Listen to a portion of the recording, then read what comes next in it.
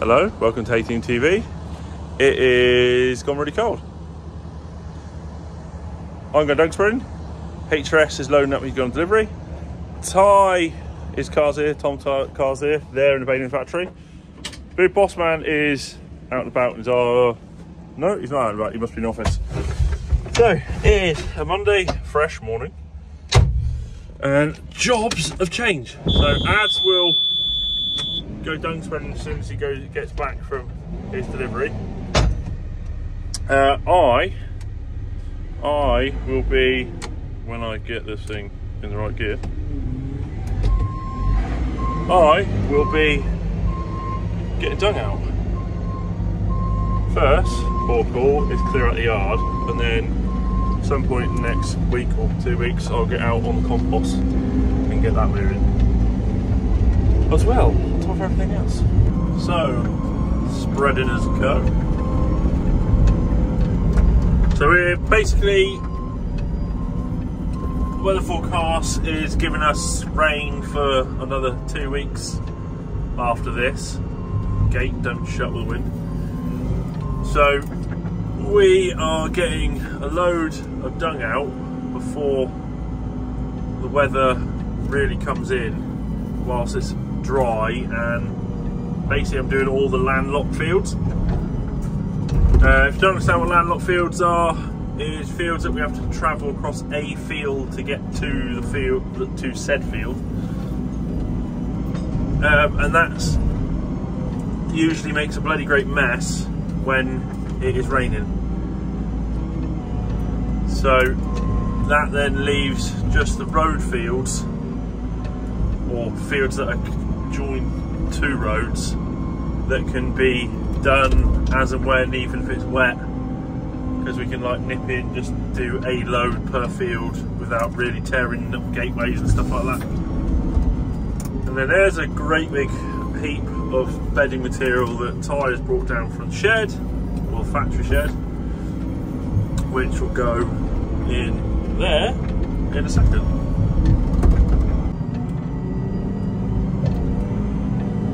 give it a little shake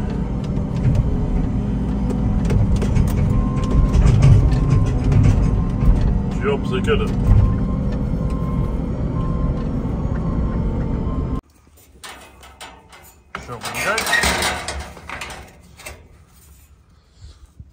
They'll shake that about. Open back their gate so they can come in if they want to. Everyone loves a rusty old bit of bar to propagate them. Or a piece of wood.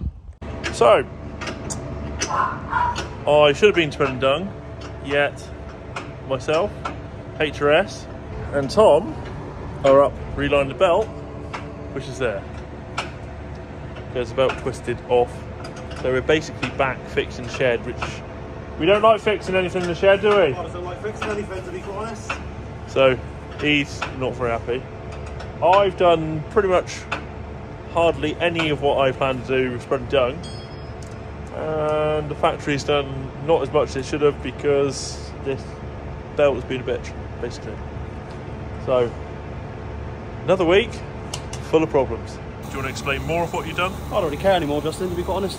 Oh, come, on, you can't be the same character as you were last week. But, Well, you were grumpy last week, so you yeah, can't. grumpy again. Oh, because you're doing this. Yeah. Would you Would you like to describe what's going on here? Belt's going round. Right, don't just don't. I, I've not got patience for you today on this one. So the belt's going round, so Yeah. the, it's stretched basically. It's ripped, it's dragged crop underneath, and it flipped over. So we flipped it all over, let all the adjustment off, flipped it all over. All this side was seized, and the threads had all gone in the uh, threaded bar. So we renewed all that, uh, measured everything, so it's the same distance this side it is that side. So at the moment, as you can see, the belt staying centrally and not moving like we wanted to. So that's good.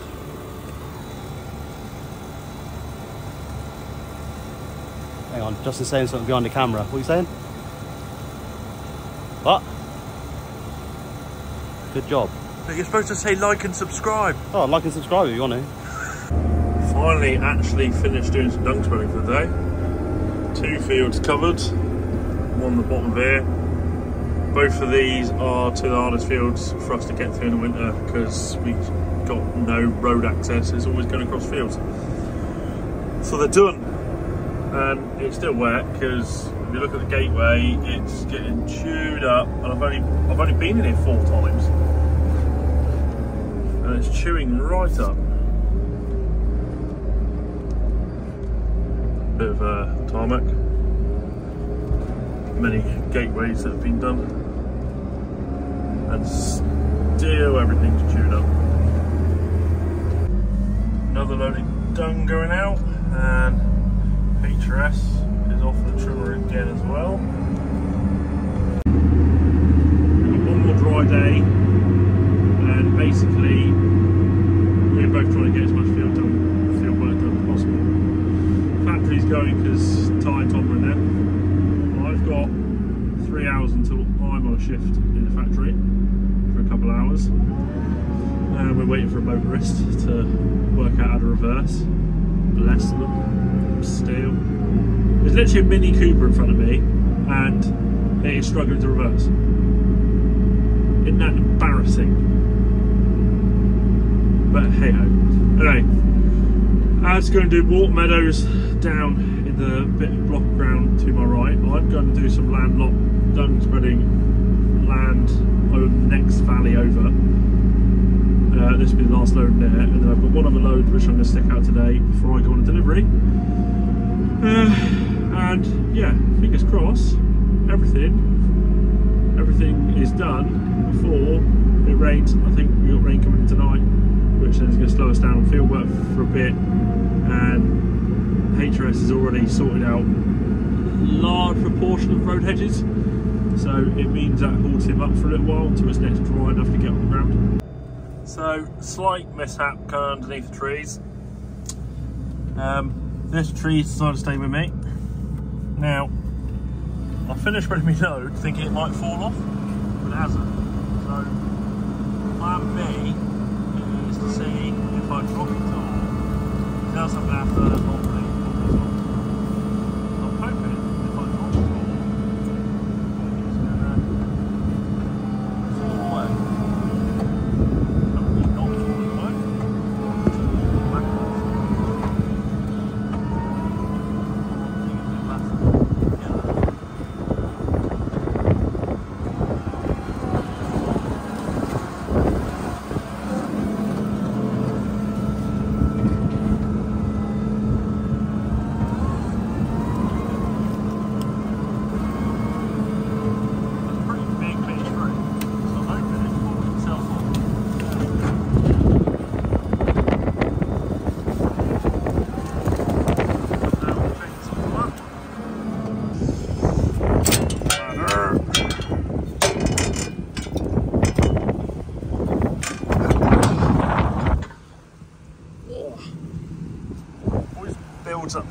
The steps, which is a bit annoying, but as I'm in here, I'll clear it.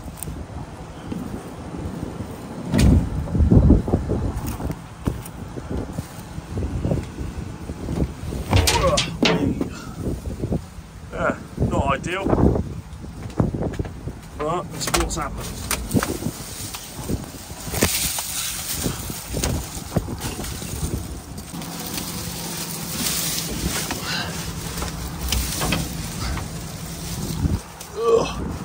Currently, it doesn't want to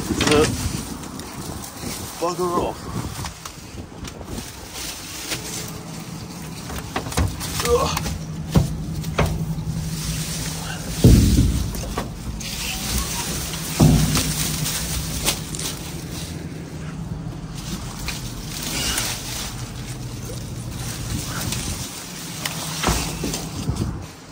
Oh, that smaller stuff gets chipped up. Just as easy. Plus, be good for the ground. Alright, so that's off. And down there, there's a fair tree limb to be honest.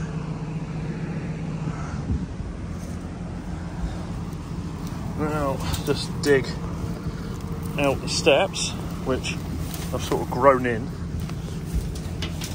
Voila. Now, the only one I just don't get, I don't understand.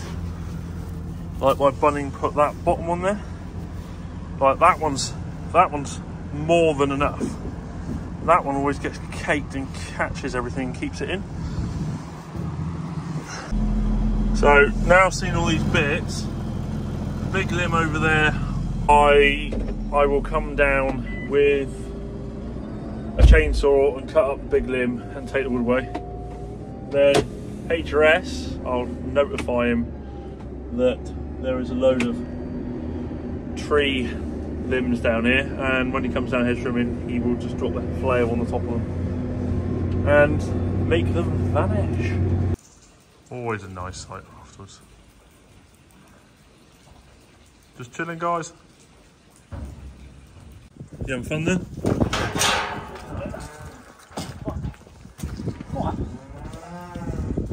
Come on. Nope. This is her last day on the farm. She's going for beef. Being stubborn? Yeah. Twist her tail. Reg, Reg, shush. Go on. So she's off to abattoir. That's the beginning of my morning today.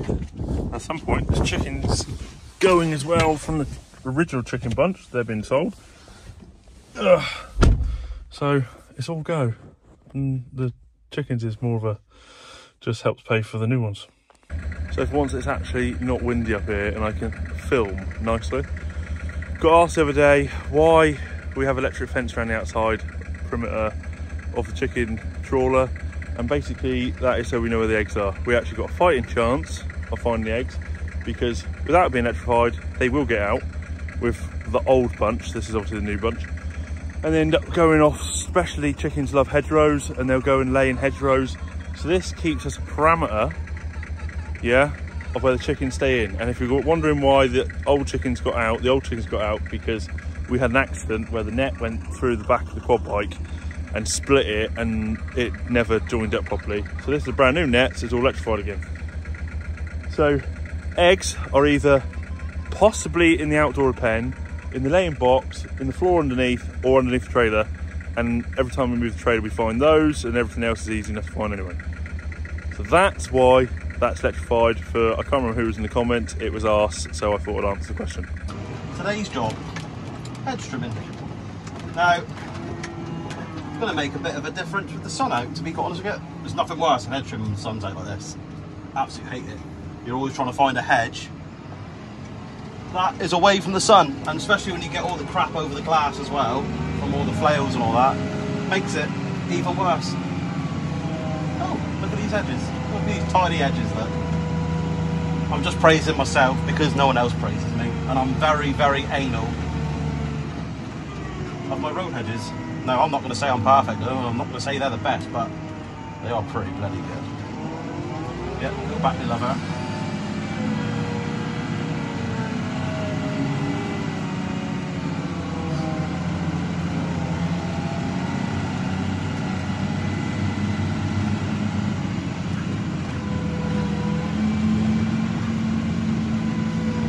Then, right, so where are we going to go? Let's go along our top road, do a better of roading. There's no way we're getting to the field. Now, we have come off pretty lucky to be quite honest with you, because we haven't had the rain like most of the UK has had.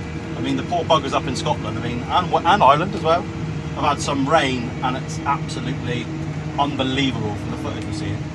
Now, I speak to Liam, uh, who, who was Case Farms on YouTube.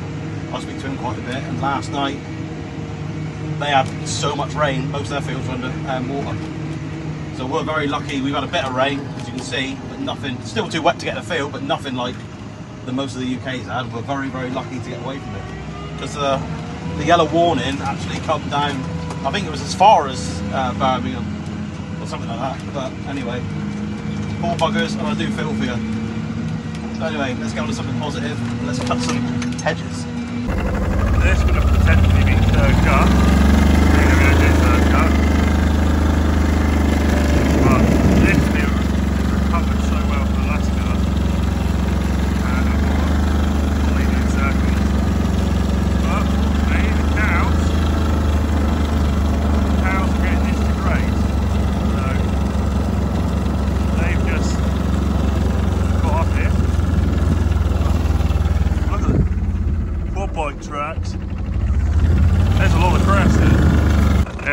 gateway like this.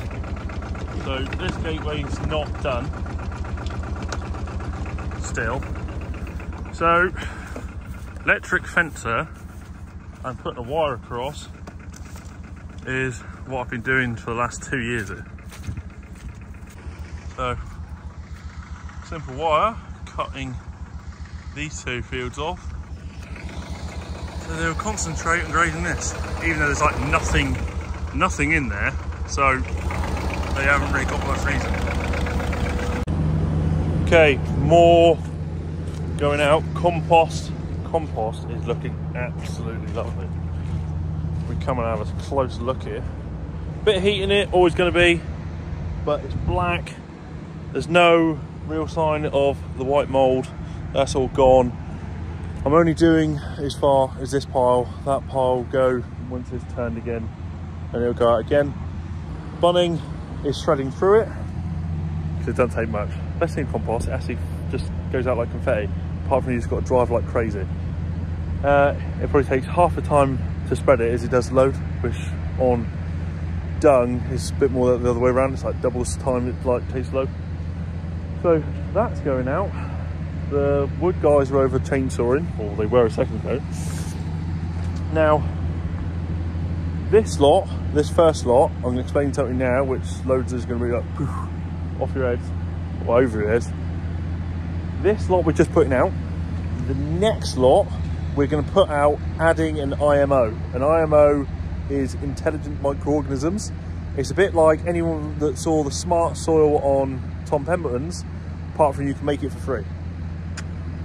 And I'll show you, how, I'll, well, I'll explain how that's done when that second lot goes out. So we're having a bit of an experiment. We're seeing results of just compost and then results of compost plus IMO, which is, you'll have effects like fertilizer for putting it simply, that you'll get more growth without having to spend a lot of money, basically.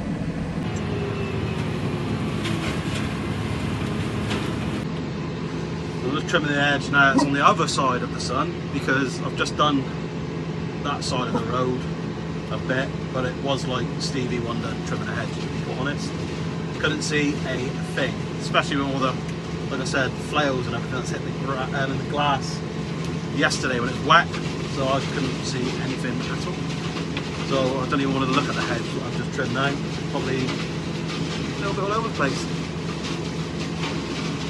But I do like doing my road edges. It just, I want people when they drive past to go, I wonder who did that edge. That's a bloody good edge. But they probably don't. They probably say, what a bloody mess that is. But well, at least I try. That's the main thing. I do try and cut a decent edge. Field hedges, especially like blocks of fields, I'm not not too worried. As long as it's all trimmed, tidy, that is all I'm worried about. But road hedges, different kettle of fish. I will go down a gear doing a road edge as well to make sure, and I won't be afraid to go over it twice either. The tops. But one thing I do miss about this trimmer, well about our old trimmer actually, is this one we're using F10s, and I did miss using the F14s because apparently, because we've got the 1.5 metre head now, we can't use the F14s on this big head because apparently it actually makes the rotor out of balance over time.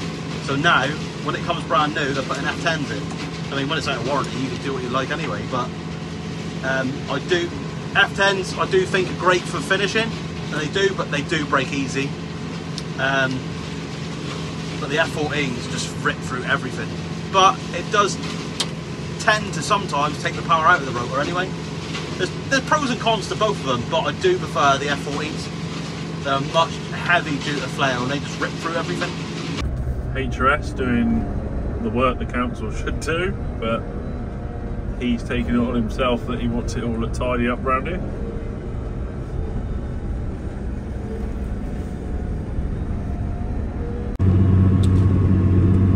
So another load, flat out, because this stuff goes out, as I said, like confetti.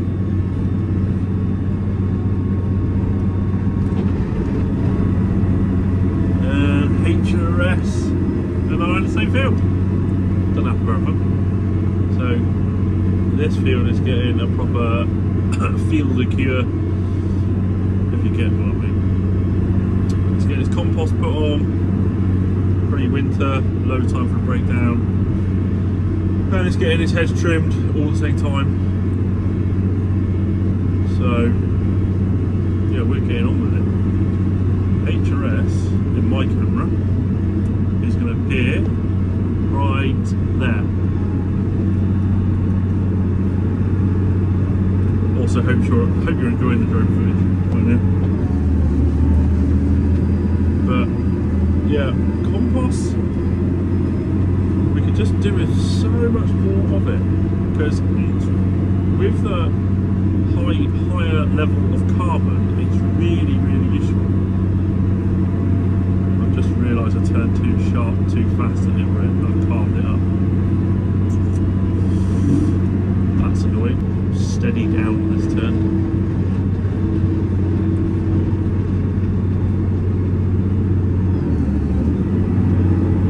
The thing is with filming footage on something like this, I'm not in the field very long.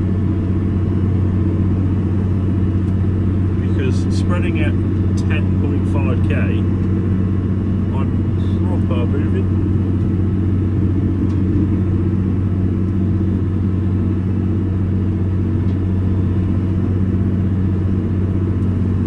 So yeah, I'm not just not just not here very long.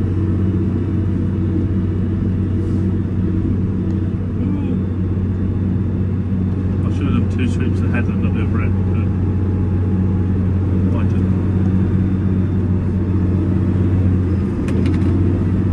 slow down a little bit, last bit. Literally four strips of field and I'm done. What works are all of you at home getting on with?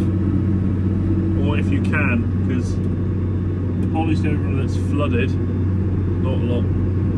That is, oh, condolences to everyone that's flooded, because the amount of rain that some of you have had in the last few days is absolutely mental. Like, proper ridiculous.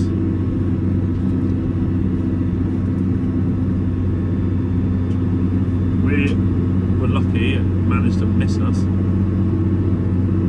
But some of the footage being seen of everywhere flooded is, yeah, that is not fun at all.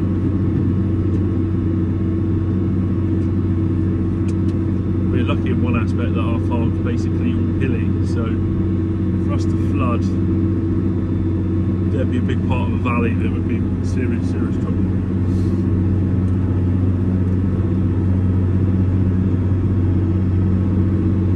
But there's another load done. And HRS is sorting the boundary out. I'll get another load, a couple of loads out on this. And then find out what else I've got on this week. Because I can only I can only do that one pile of compost that's the only one's ready at the in all, it's been a busy week this week. I'm just finished this video. It's Saturday. I had been out doing hedge trim this morning. I've just finished cleaning the cow yard again because when it's wet, it just way messier than normal. Like if it's if it's dry, it's hard hardly ever have to do it. When it's wet, it gets done like all time.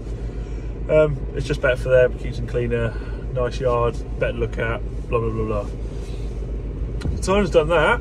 Uh, I am going to chill out for the rest of today and watch rugby later on. So fingers crossed. I even think I want South Africa to win at the moment. Yeah, I'm not. I'm not happy with this England squad personally.